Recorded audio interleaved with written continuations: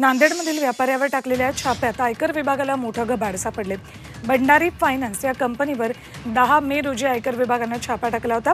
या छाप्यात आतापर्यंत एकशे सत्तर कोटींची बेहिशेबी मालमत्ता आढळली. आहे यात तब्बल आठ किलो सोनं आणि चौदा कोटींची रोकड. आहे जवळपास साठ ते सत्तर अधिकाऱ्यांनी नांदेडमधल्या फायनान्सचे तीन ऑफिस एक गोल्ड लोनचं ऑफिस आणि भंडारी बंधूंच्या घरावर एकाच वेळी छापा टाकला.